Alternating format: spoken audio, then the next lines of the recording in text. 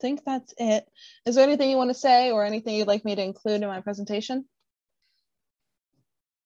I think we covered most of it. I mean, you, you know, like we were talking about before with this, this problem is only going to get worse unless somebody actually somebody nationally starts talking about it. You know, we there's stuff out there all over the internet about tech neck, but and as much as we educate our patients, most people will listen to it, but not everybody applies the principles to what we're talking about.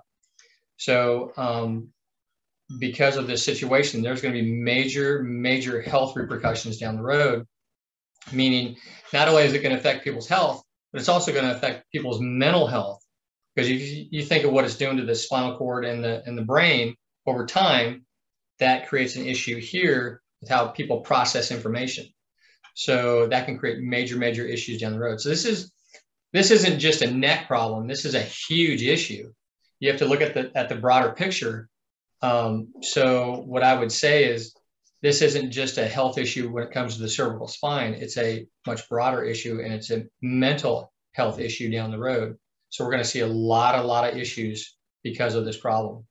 You know, you think about right now, people are getting headaches and shoulder pain and neck pain and stuff like that because of it. Well, you let that problem go untreated, it's going to create major issues down the road as far as the mental health issues. So, yeah, I wonder how we'll look in a maybe in just a few years because we're finally having people who've grown up on technology finally reaching adulthood and I wonder how that'll continue down the line.